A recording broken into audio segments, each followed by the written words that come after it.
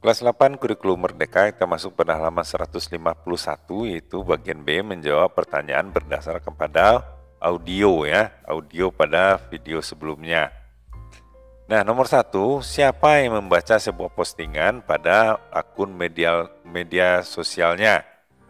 Nah, itu jawabannya adalah Simonita sedang membaca postingan di media sosialnya. Yang nomor dua, tentang apa postingan tersebut? Yang nomor dua itu postingannya tentang bagaimana mensortir sampah. Yang nomor tiga, komentar siapa yang relevan dengan pernyataan Monita. Kalau yang ini saya tidak, eh, saya pikir ini cocoknya si Galang ini ya. Karena coba kalian perhatikan kembali ya eh, audionya. Nah, Komentar siapa yang relevan dengan pernyataan si Galang, yaitu pernyataan si Andre dan Monita. Andre dan komentar si Andre dan si Monita yang relevan terhadap pernyataan si Galang. Ya. Nomor empat, kenapa Pipit berterima kasih kepada si Galang?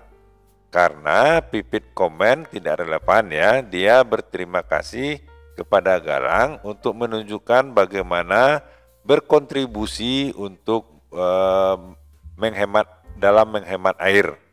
Nah, itu untuk worksheet 39. Nah, kita lanjut. Nomor C, lengkapi ya, lengkapi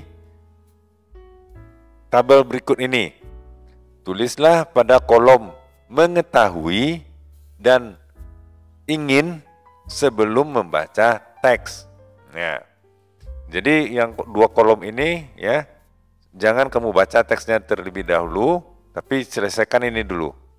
Kemudian tulislah pada kolom pelajari dan bagaimana setelah kamu membaca teksnya. Teksnya ada pada halaman berikutnya ya.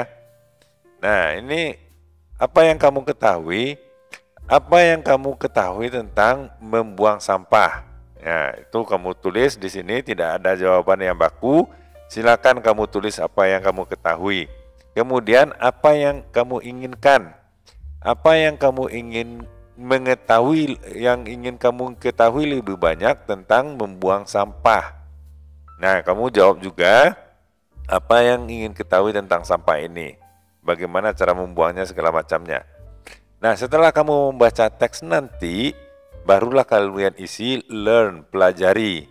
Apa yang kamu pelajari dari teks tersebut.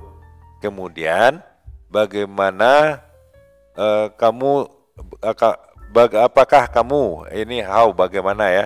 Bagaimana bagaimanakah kamu akan mengetahui lebih banyak ya? Apakah kamu ingin tahu lebih banyak? Bagaimana caranya? Nah, itu dia. Nah, barangkali itu dulu untuk kali ini untuk halaman 151. Mudah-mudahan bermanfaat. Jangan lupa subscribe dan like videonya. Sampai jumpa.